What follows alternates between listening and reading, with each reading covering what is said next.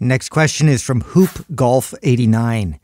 Does lifting reduce flexibility? Nope. Nope. This is like up there with one of those bad myths. That Yeah. just sticks around. No. we addressed that recently. Yeah, actually, they did. They actually now The have lumbering studies. athlete. They had okay. So first off, we have to define uh, flexibility.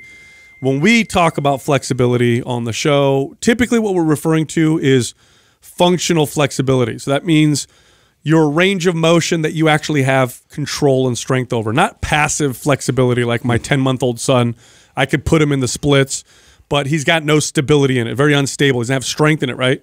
It doesn't count if you have lots of range of motion with no strength. In fact, that's actually instability and that'll increase risk of injury. Mm-hmm. So what you're looking for is being able to move through ranges of motion, but also have strength in those ranges of motion.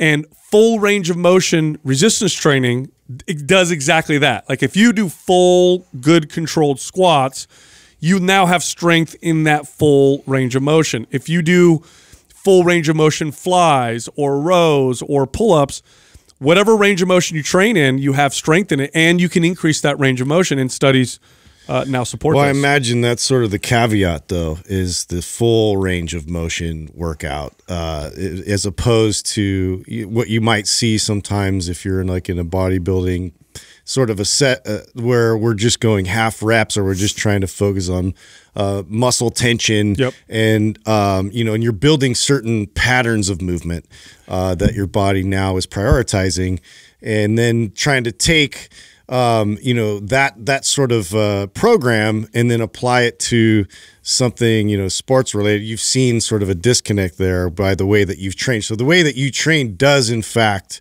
impact uh, you know, uh, using it functionally, but that that would happen over quite a substantial amount of time. So, uh, in terms of flexibility itself, though, if you're doing full range of motion and having strength in that range of motion, it increases uh, that flexibility, but strength in that flexibility, which Yeah. is and you got you have to compare apples to apples too, right? Because what you're saying is absolutely true, Justin. But here's what the problem: people will compare a well-developed muscular person who trains without full ranges of motion, right? Say they train like a bodybuilder, and then they'll compare them to like an athlete or somebody that trains in full ranges of motion. Be like, look, that bodybuilder's so tight and immobile. That's, Oh, that's yeah, not, that's not a good comparison. That's not fair.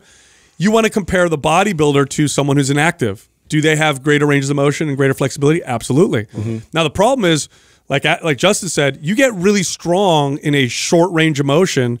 Now you can generate a lot of force in a particular range of motion. You move outside of that, and you don't have a lot of strength in that. it's that other- problematic at that point. Oh yeah, it could create big problems. Like if you can, you know, if I can generate a thousand pounds of force going straight ahead, but to the side it's you know a hundred pounds of force, and I move forward real fast, but then all of a sudden I got to cut. You know that that could cause some problems. You've seen this though too, and um, there was a movement, especially in baseball, where it's like you didn't want to get your chest or your arms too big because it felt like it would restricted the mechanics. Yeah. uh, which was totally false. If you unless you're yeah, look going, at Mark McGwire. Yeah, exactly. look at look Bo Jackson. Look at like these incredible like physiques that that started to emerge and how you know amazing uh, their performance was. It, it wasn't you know it wasn't the muscle that was bound.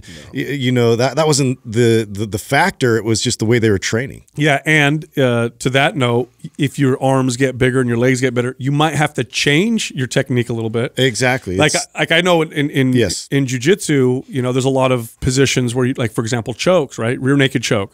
Well, if your forearms and arms are big, it might be harder to get underneath someone's chin to do a choke. Or if you have really big, massive legs, a triangle choke might be a little bit more difficult. But there's ways you can do variations, stuff like that. So for athletes listening, if you do build size, make sure you practice your technique still, because otherwise you're in a new body and your old technique now is hard to to, to carry over.